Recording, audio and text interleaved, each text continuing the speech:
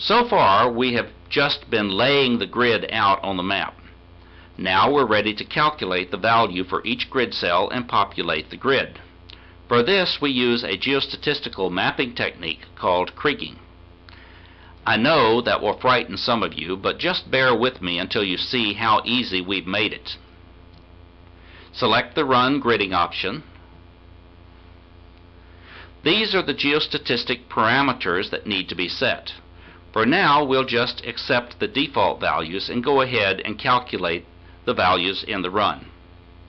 We'll come back and define what we are doing in a few moments.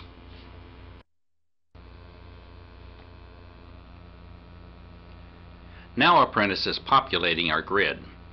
Notice that all of our data is within the fault block. When we're finished, we'll see that Apprentice honors the faults and will not calculate across them. Since there are no values on the outside of the faults, Apprentice will use null values in these regions.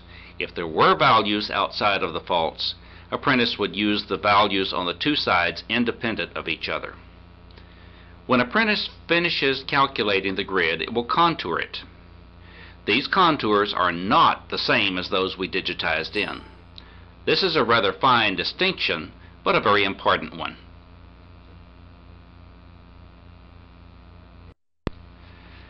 When kriging is finished, we can click on cells to see the values. Notice that if we click on cells outside of the fault block area, we get null values.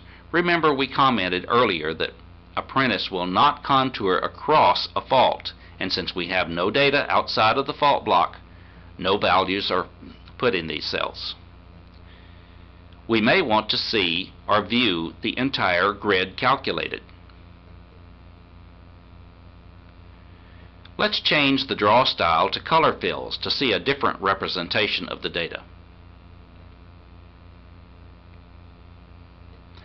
How good of a job did Apprentice do in creating a grid that represents the original data? Well, if you remember what the original data looked like, you can compare it mentally. Here's a way to check this, however. First, we turn off the grid lines so that we can see the contour lines a little better.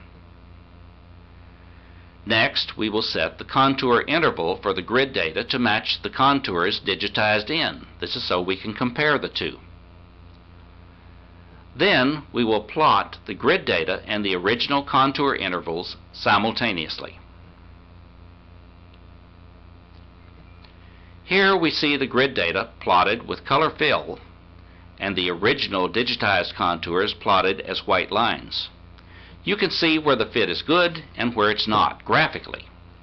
Notice that while some of the contour lines match the grid lines very well, some do not. In this area, the problem may be that we do not have a fine enough grid, or we may need additional control points in this area. When you see graphically that you have trouble, it's not too difficult to come up with a correction. We'll save this grid and calculate the grid for the other maps. When we switch to the gross thickness map, we see that we did not have contours for this map. The grid is already set up, so all we have to do is calculate the grid values based on the data available, which in this case is just well data. Remember that we can only have one grid for a set of maps. It would not make sense to have a different grid for the structure map than we have for the net thickness map and then try to do calculations between the two.